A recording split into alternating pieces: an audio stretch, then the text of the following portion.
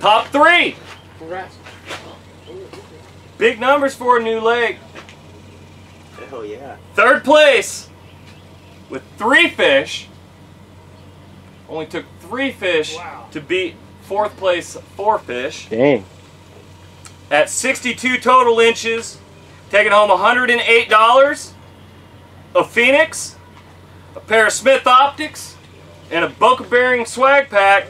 Brent Taylor. Brent.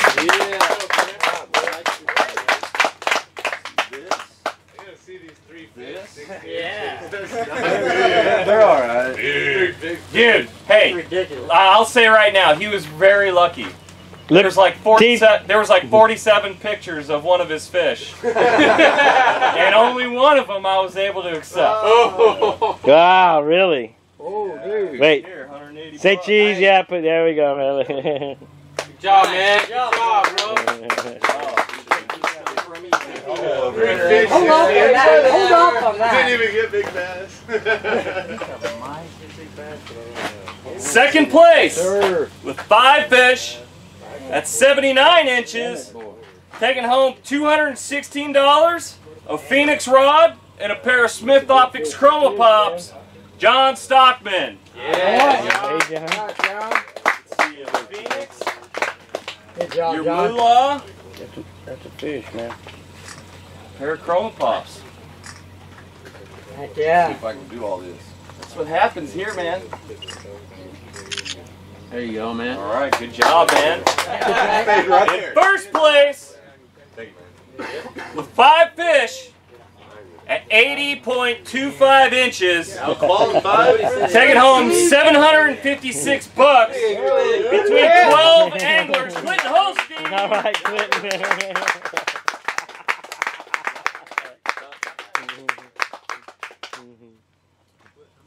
See you on Kentucky Lake. That's pretty How'd you catch your fish, man? All on top water. Say it loud. Speak up. All on top water, less than 500 feet from right here at the boat dock.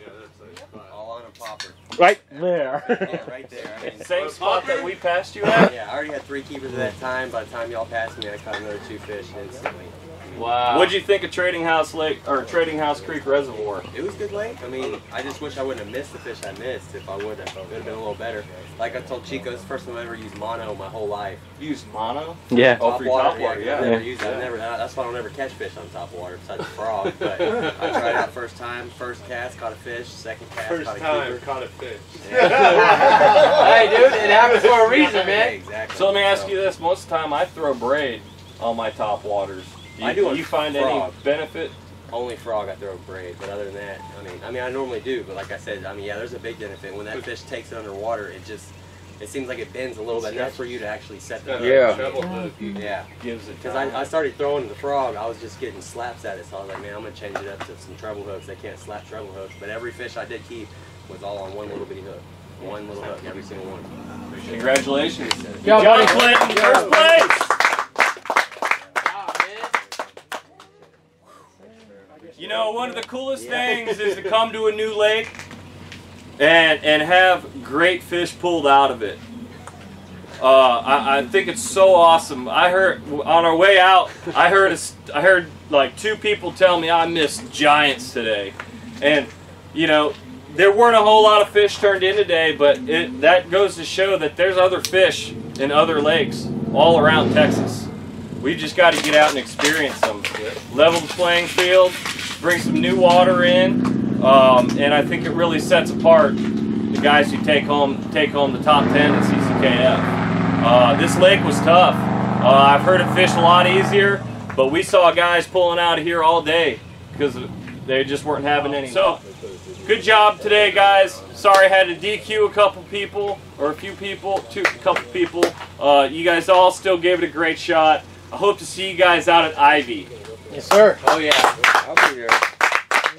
Big bass. 25.75 inches. He's a big bass. 47 pictures of that fish. 47 pictures. And I had to find just one that I could utilize. Wow. And I found only one that I could utilize. There was like 20 of them It had the head cut off, Let's the tail cut off, the whole, the entire bottom of the fish cut off. That.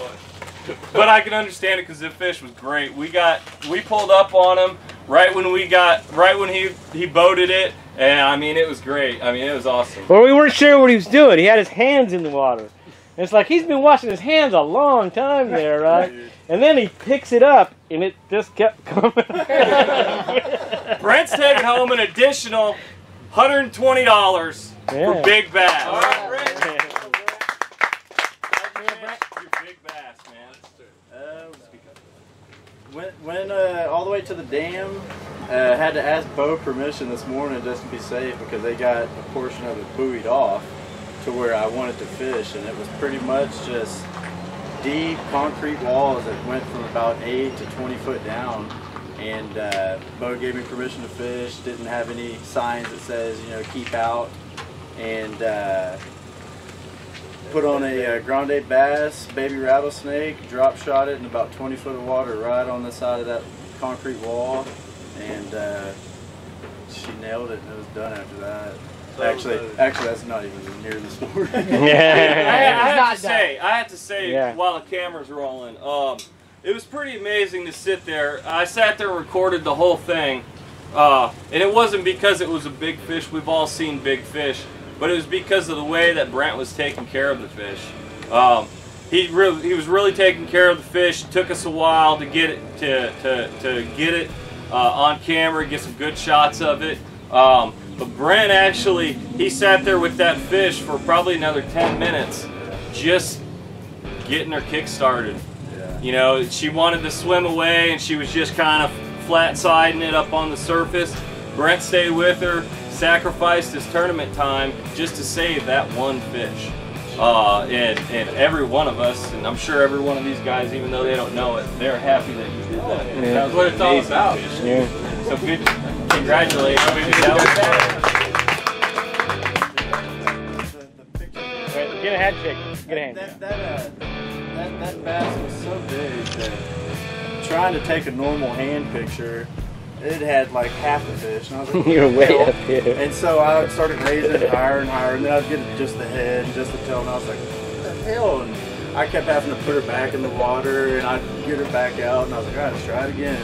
And literally for about 20 minutes, and finally I was like, why don't I just get my damn scorecard and put it on the fish? And I, I had to literally stand up like this to get that entire fish in that picture. So So you let go of the fish? I had it clipped. Oh yeah. Dude, it was. Don't even ask. His picture, 99.9% of his pictures were atrocious. Well, not, not to mention I'm sitting there shaking. Yeah, he was excited, man. I came back. Good job, Brent.